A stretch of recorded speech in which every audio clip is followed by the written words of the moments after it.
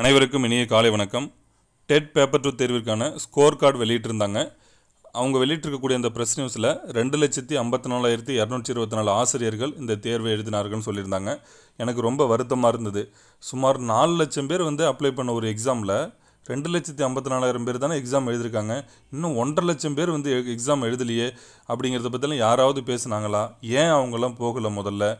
தேர்வு மையம் வந்து நாலு மாவட்டங்களுக்கு அப்பால் வந்து ஒதுக்கீடு செஞ்சுருந்தாங்க. சரி எல்லாருமே இவங்கெல்லாம் போகவே இல்லையான்னு கேட்டிங்கன்னா நிறைய பேர் அந்த சென்டருக்கு போயிட்டு குறிப்பிட்ட நேரத்தில் சென்றடைய முடியாமல் எவ்வளோ பேர் இருந்தாங்கங்கிறது நிச்சயமாக எனக்கு தெரியும். என்னுடைய நண்பர்கள் வட்டாரத்திலே அவங்க முதல் நாள் பிளான் பண்ணி போயுமே முடியல. ஏன்னா அது எந்தெந்த பிளேஸுக்கு அந்த பஸ்ஸு ரூட் இல்லாத ஏரியாவிலாம் போகிறது வந்து சிரமம் தான் சரிங்களா? எல்லாருமே கார் வச்சுக்கிட்டு அந்த பிளேஸுக்கு போக முடியாது. இப்போ இந்த ஒரு எக்ஸாமுக்கு அப்ளை பண்ணாலே கிட்டத்தட்ட நம்ம வந்து ஃபீஸ் எல்லாம் சேர்த்து கிட்டத்தட்ட ஆயிரத்துக்கும் அதிகமாக தான் நம்ம செலவு பண்ண வேண்டியதாக இருக்குது. அப்படிங்கிற பட்சத்தில் இதை பற்றி யாருமே பேசலை. ஆனால் நெகட்டிவாக நல்லா க நம்மளுக்கு வந்து ஒரு ஃப்ளாஷ் நியூஸ் கிடச்சிச்சு. இந்த டெட்டு ரிசல்ட் வெளியிட்டதுலேருந்து எல்லாருக்கும் ஒரு குஷியாக இருக்குது இல்லை மீடியாவுக்கும் சரி தான் இல்லை நிறைய யூடியூப் சேனலுமே நெகட்டிவாக தான் போடுறாங்க. நல்ல நல்லா ஃப்ளாஷ் நியூஸை சூப்பராக போடுறாங்கப்பா. உண்மையிலே எனக்கெல்லாம் பார்க்கும்போது வருத்தமாக இருந்தது. ரெண்டாயிரத்தி பத்தொம்போது டெட்டு பேப்பர் டூ எழுதினவங்க எத்தனை பேர் தெரியுங்களா? நீங்களே எல்லாம் பார்த்துருப்பீங்க வெப்சைட்டில் மூணு லட்சத்தி எழுபத்தொம்பதாயிரம் பேர் வந்து ரெண்டாயிரத்தி பத்தொம்போதில் தேர்வு எழுதினாங்க. இப்போ ரெண்டாயிரத்தி இருபத்தி மூணில் எழுதும்போது ரெண்டு லட்சத்தி ஐம்பத்தி நாலாயிரம் பேர். பாருங்கள் அப்போ மூணு லட்சத்தி எழுபத்தொம்பதாயிரம் பேர் ரெண்டாயிரத்தி பத்தொம்போதில் தேர்வு எழுதினாங்க. வெற்றி பெறுறாங்க இல்லை வெற்றி பெற முடியல. அது அடுத்த விஷயம். இப்போ அதுக்கே ஒரு வாய்ப்பு கொடுக்க கண்டிப்பாக அந்த தேர்வு மையம் வந்து ஒதுக்குனதில் தான் நிறைய பேருக்கு வந்து இடர்பாடுகள் இருந்தது. நிச்சயமாக இனி வரக்கூடிய காலங்களில் நம்ம இது சம்மந்தமாக நிச்சயமாக கோரிக்கை வைத்து எல்லாருக்குமே அவங்களுடைய சொந்த மாவட்டங்களிலே எல்லாம் பக்கத்துலேயே ரொம்ப டிஸ்டன்ஸ் நம்ம வந்து நான்கு ஐந்து மாவட்டங்களில் கிட்டத்தட்ட எட்டு மணி நேரம் பஸ் ரூட் இல்லாததுக்கெலாம் போகவே முடியல. அப்போ கண்டிப்பாக இதெல்லாம் மாற்றம் செய்யணும் அப்படிங்கிறது தான் கோரிக்கை. சரி இப்போ இந்த ரிசல்ட்டுக்கு வருவோம். இப்போ எல்லாரும் நியூஸில் எப்படி பார்த்துருப்பீங்கன்னா தொண்ணூத்தெட்டு சதவீதம் பேர் தோல்வி. இதுதான். நம்ம இந்த எப்படி தான் இதை நியூஸ் வந்து கொடுக்குறாங்கன்னு தெரியல. நான் எப்பயுமே இது வரைக்கும் நான் ஸ்டார்டிங்லேருந்து கொடுத்ததெல்லாம் இ- இப்போ நான் எப்படி கொடுத்துருக்கேன் பாருன்னா ஆறு சதவீதம் பேர் வந்து தேர்ச்சி பெற்றிருக்காங்கன்னு தான் நான் சொல்லுவேன். தொண்ணூற்றி நாலு சதவீதம் இல்லை தொண்ணூற்றி எட்டு சதவீதம் பேர் அந்த தோல்விங்கிற வார்த்தை எனக்கு வரவே வராது. தோல்வியே இல்லையே. இது எப்படி நீங்கள் தோல்வி நீங்கள் போட முடியும் கொடுக்க முடியும்? அந்த ஃப்ளாஷ் நியூஸ் பார்த்தீங்கன்னா எல்லா மீடியாவிலையும் வருது. வாட்ஸ்அப்பில் வருது. அதை ஒரு பெருமையாக சொல்கிறாங்க தொண்ணூத்தெட்டு சதவீதம் பேர் ஃபெயிலாம் யார் ஃபெயில் ஆன முதல்ல? எந்த ஆசிரியர்கள் முதல்ல? யாருமே ஃபெயிலாம் ஆகலை. சரிங்களா? அதை முதல்ல தெளிவாக முதல்ல எல்லோரும் புரிஞ்சுக்கணும். நான் கண்டிப்பாக அவங்க கூட சப்போர்ட்டாக இருப்பேன். இப்போ நம்ம வந்து ரெண்டு லட்சத்தி ஐம்பத்தி நாலாயிரத்தி இரநூற்றி இருபத்தி நாலு ஆசிரியர்கள் வந்து தேர்வு எழுதினாங்க. அதில் தேர்ச்சி பெற்றவங்க பார்த்தீங்கன்னா அது ஒவ்வொன்றிலும் ஒரு கணக்கு இருக்குன்னு வச்சுக்கோங்க. பதினஞ்சாயிரம் பேர். இல்லை நம்ம இப்போ நியூஸ் பேப்பர்லாம் பதிமூணாயிரத்தி எழுநூற்றி எட்டு பேர் நம்மளுக்கு கொடுத்துருக்காங்க. நம்ம வெயிட் பண்ணி பார்ப்போம். இன்னும் இந்த ஒரு வாரத்தில் நம்மளுக்கு அந்த சர்டிஃபிகேட் கொடுக்கும்பொழுது தெளிவாக குறிப்பிட்டு இவ்வளோ பேருக்கான சான்றிதழ்கள் வந்து நாங்கள் வெளியிட்டிருக்கோன்னு கொடுப்பாங்க. இத்தனை சதவீதம் பேர் வந்து தேர்ச்சி பெற்றிருக்காங்க.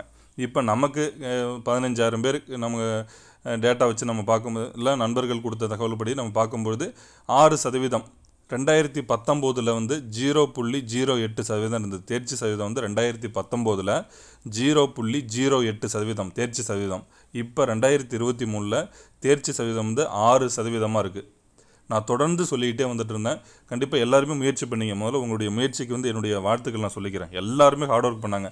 இதற்கு முன்னாடி எழுதின எக்ஸாமை விட இந்த முறை வந்து தேர்வு எழுதின அத்தவங்களும் அத்தனை பேர் அத்தனை ஆசிரியர்களுமே உங்களால் என்ன முடியுமோ அந்த எஃபோர்ட்டு கொடுத்துட்டு போயிருப்பீங்கன்னு நான் நம்புகிறேன் யாருமே சும்மா பேருக்கெல்லாம் போய் எழுதலை.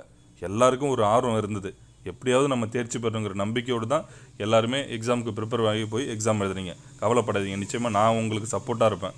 தேர்ச்சி பெற்றவங்களுக்கும் சரி தான் தேர்ச்சி பெற தேர்ச்சி பெற போகிறவங்களுக்கும் சரி தான் கண்டிப்பாக நான் இருக்கேன் சப்போர்ட் உங்களுக்கு.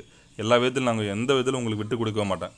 அடுத்தடுத்து நீங்கள் என்னென்னலாம் திங்க் பண்ணுறீங்களோ அடுத்தடுத்த வீடியோக்களை நான் கண்டிப்பாக அதை நான் ஒரு வீடியோவை நிச்சயம் செப்பரேட்டாக நான் கொடுத்துட்டே இருப்பேன். ஏன்னா நீங்கள் என்ன கமெண்ட்டில் நிறைய பேர் கே பல்வேறு விதமாக கேட்குறீங்க அதேபோல் இந்த முறை வந்து சயின்ஸ் வந்து மேக்ஸ் அண்ட் சயின்ஸில் வந்து ஆசிரியர்கள் வந்து நிறைய பேர் அதிகமான அளவில் வந்து தேர்ச்சி பெற்றிருக்காங்க. சோசியல் சயின்ஸில் வந்து குறைவான அளவில் தேர்ச்சி பெற்றிருக்காங்க. இதெல்லாம் அப்படிலாம் ஒன்றும் கிடையாது. எல்லாமே நல்லா ஹார்ட் ஒர்க் பண்ணாங்க. பாஸ் பண்ணிட்டாங்க. மேக்ஸ் அண்ட் சயின்ஸு நம்மளுக்கு சோசியலை பொறுத்த வரைக்கும் இந்த முறை வந்து டஃப்பாக தான் இருந்தது. அதில் வந்து மாற்றுக்கிறதே கிடையாது. சரிங்களா? இந்த பிரித்து பார்க்குறதே வேணாம். நம்ம எல்லாரும் ஆசிரியர்கள் தான். கண்டிப்பாக இதில் வந்து மேக்ஸ் அண்ட் சயின்ஸ் வந்து இவ்வளோ பேர் பாஸ் பண்ணிட்டாங்க. அப்படிலாம் இல்லை. மேக்ஸ் அண்ட் சயின்ஸ் நம்ம பார்க்கும்போது இந்த முறை நிறைய பேருக்கு வந்து இப்போலாம் ப்ரிப்பேர் பண்ண ஆரம்பிச்சிட்டாங்க. முன்னாடிலாம் வந்து அதிகமான அளவில் வந்து டெட்டில் ஆர்வம் காட்டுறதில்ல. இல்லை டிஆர்பி இந்த மாதிரி தேர்வுகளில் தான் கவனம் செலுத்துவாங்க. இப்போ வந்து ஓரளவு நம்ம ஆர்வம் எல்லாருக்குமே இருக்கிறதால அப்ளை பண்ணாங்க தேர்ச்சி பெற்றாங்க. சோசியல் சயின்ஸை பொறுத்து கொஞ்சம் டஃப்பாக தான் இருந்தது. இதற்கு முன்ன முன்புலாம் பார்த்தோம்னா ஆர்ட்ஸில் வந்து அதிக பேர் கிளியர் பண்ணுவாங்க. இந்த மாதிரிலாம் பிரிச்செல்லாம் பார்க்க வேணாம். இவ்வளோ பேர் வந்து இந்த முறை பதினஞ்சாயிரம் பேர் வந்து தேர்ச்சி பெற்றிருக்காங்க. கண்டிப்பாக நீங்கள் எல்லாருமே தேர்ச்சி பெற்ற அனைவருக்கும் கல்விக்கன் சேனல் சார்பாகவும் என் சார்பாகவும் மனமார்ந்த வாழ்த்துக்களையும் பாராட்டுகளையும் தெரிவிச்சுக்கிறேன்.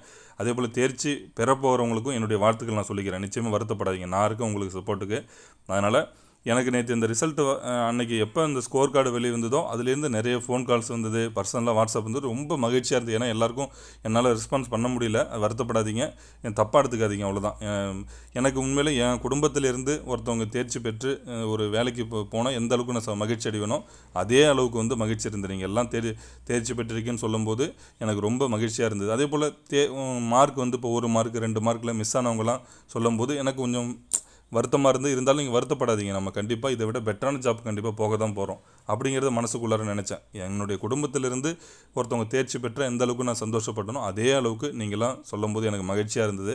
கண்டிப்பாக ஒரு நல்ல இவ்வளோக்கு ஹார்ட் ஒர்க் பண்ணி தான் இந்த அளவுக்கு எல்லாருமே பாஸ் பண்ணிருக்கீங்க முதல்ல உங்களுக்கு எல்லாருக்கும் வாழ்த்துக்கள். மீண்டும் வாழ்த்துக்களை சொல்லிக்கிறேன். நீங்கள் பல்வேறு விதமான டவுட்லாம் கேட்குறீங்க இப்போ எல்லாருமே நம்மளோட ரிசல்ட்டு பார்க்குறத விட மற்றவங்க ரிசல்ட்டு பார்க்குறது தான் ஆர்வமாக இருக்கும். இப்போ உதாரணத்துக்கு சொல்கிறோன்னா இப்போ நம்ம மேக்ஸ் இருக்கோம். சரி மேக்ஸில் வந்து எவ்வளோ பேர் தேர்ச்சி பெற்றிருப்பாங்க? இன்னும் அது தெரிஞ்சால் இன்னும் எங்களுக்கு படிக்கிறதுக்கு நல்லாயிருக்கும் ஆர்வம் கொஞ்சம் அதிகமாக இருக்கும். இன்னும் கொஞ்சம் படிக்கலாம் ஒரு பிளான் பண்ணி இவ்வளோ பேர் போட்டி. அப்படிலாம் யோசிக்கவே கூடாதுங்க. இதுக்கெலாம் தனியான வீடியோ கொடுப்பேன். ஸ்பெஷல் வீடியோ இருக்குது இதுக்கெலாம் நீங்கள் யோசி கேட்குறீங்களா இவ்வளோ பேர் அப்படியே பயோடாட்டா எனக்கு வேணும் கரெக்டாக வேணும். மேக்ஸ் இல்லையா? அக்யூரேட்டாக அந்த அறுபதாயிரம் பேர் பாஸ் பண்ணதில் மேக்ஸில் மட்டும் இருபத்தஞ்சாயிரம் பேர் இருக்காங்க. இருபத்தஞ்சாயிரத்தி இரநூறு பேர் இருக்காங்க. இப்படி சொன்னால் தான் நீங்கள் படிப்பீங்களா?